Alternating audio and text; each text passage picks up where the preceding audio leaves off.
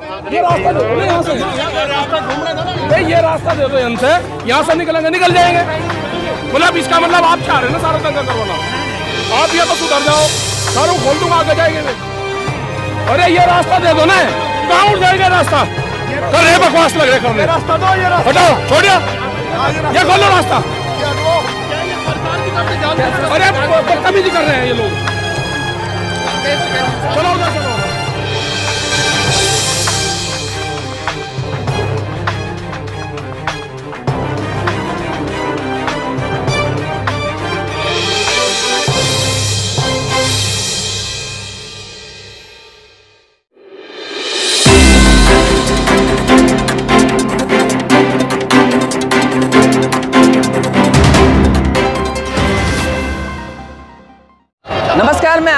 आप देख रहे हैं फ्रीडम एक्सप्रेस। अभी हम गाजीपुर बॉर्डर में हैं।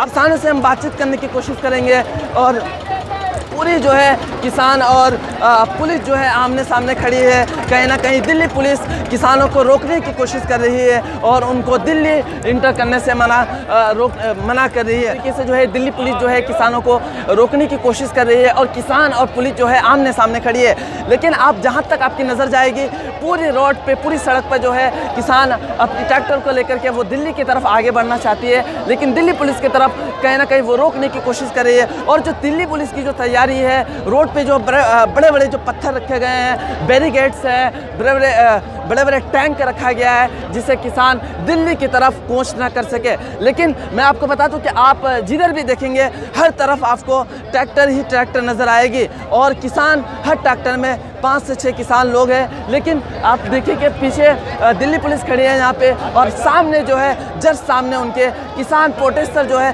वो आना चाहती है। लेकिन दिल्ली और पुलिस दिल्ली पुलिस और किसान जो है आमने सामने खड़ी हुई है और बैरिगेड्स है और पूरी तैयारी है दिल्ली पुलिस की तरफ़ से किसानों को रोकने की। लेकिन किसान ने ठान लिया है और वो चाहते हैं कि हम दिल्ली में परेड करें और हमारा जो है, हमारा प्रदर्शन जो है, वो बहुत ही शांतिपूर्ण है। लेकिन ये एक ऐसा प्रोटेस्ट है, मैं आपको बता दूँ कि इंडियन हिस्ट्री में जब तक हमारा देश, जब से हमारा देश आज़ाद हुआ है, ऐसा परेड हमें कभी देखने को नहीं मिला। अगर इससे, इसके बाद बहुत सारे ऐसे भी मार्च हुए, आज़ादी के बाद बहुत बड़े बड़े आंदोलन हुए।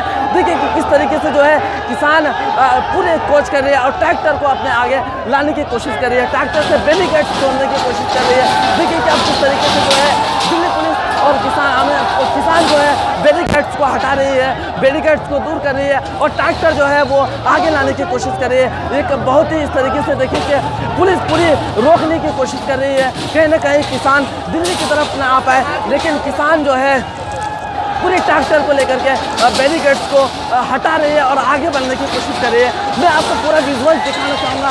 देखिए कि आप किस तरीके से, मैं खुद भी बचने की कोशिश करूँगा देखिए कि किसान जो है पूरी तरीके से बैरिकेड्स को हटा दी है और वो दिल्ली की तरफ़ आने की पूरी कोशिश कर दी है। ट्रैक्टर है किसान का और किसान जो है, लेकिन ये जो है सबसे बड़ा, लेकिन किसान जो लीडर है, वो कहीं ना कहीं किसानों को रोकने की कोशिश कर रही है कि आप इस तरीके से ना करें। लेकिन जो किसानों के अंदर जो एक जज्बा है, आप टिकट को देख सकते हैं कि किसानों को वो समझा रहे हैं और वो इस तरीके से ना करें। लेकिन अगर इस तरीके से हो देखिए राकेश टिकट जी है, किसानों को समझा रहे हैं। जितने भी किसान लीडर हैं किसान लीडर जो है, वो बार बार किसानों को समझा रहे हैं कि आप इस तरीके से ना करें। हमारा प्रदर्शन जो है, वो शांतिपूर्ण है, लेकिन एक अच्छी बात है कि किसान ने जो कि कुछ जो युवा है, वो कुछ बैरिकेड्स को खड़ी कर रही है। लेकिन लेकिन किसानों के अंदर जो है, वो गुस्सा है कि वो दिल्ली आना चाहते हैं और वो दिल्ली में एक परेड करना चाहते हैं। कि देखिए, मैं आपको खुद यहाँ से दिखाने की कोशिश करूँगा कैमरा पर्सन से कहूँगा कि देखिए जो है, किसान लीडर जो है,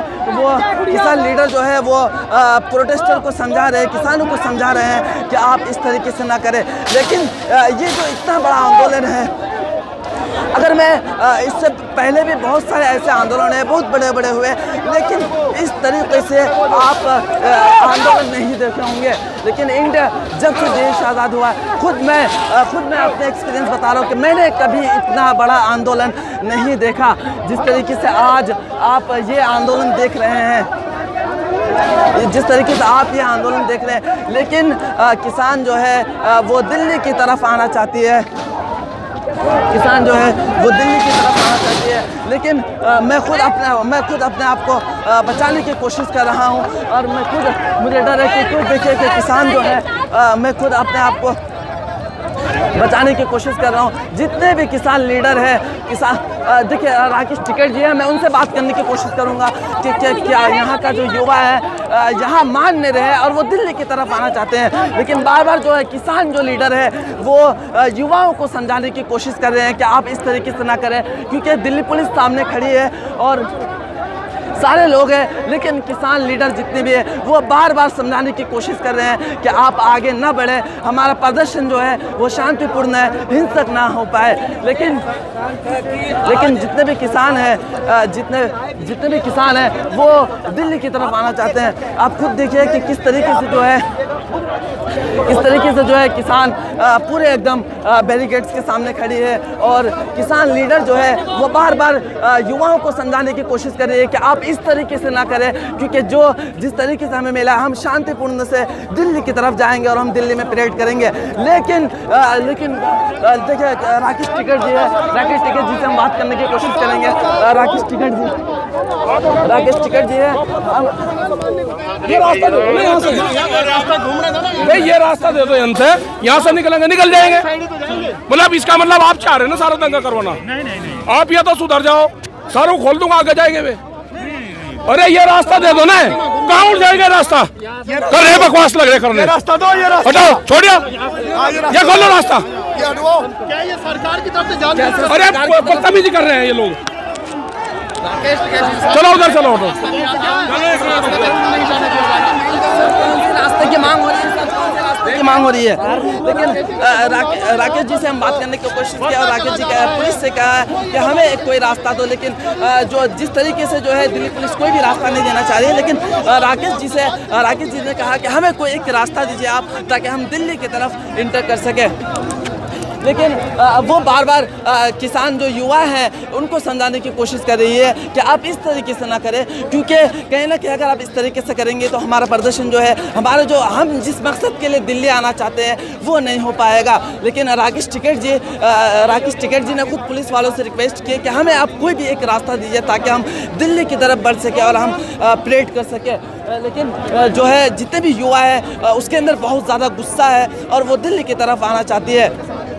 कि मैं आपको लगातार इस तरीके की विजुअल्स इस तरीके की वीडियोस इस दिखाते रहूँगा। आप हमारे साथ जुड़े रहिए और मैं फिर कहीं ना कहीं एक मैं इन सारी चीज़ों को बात करने की कोशिश करूँगा। चलिए, अब तक के लिए बहुत बहुत शुक्रिया। हम वीडियो जर्नलिस्ट असद के साथ मैं अहमद रजा गाजीपुर।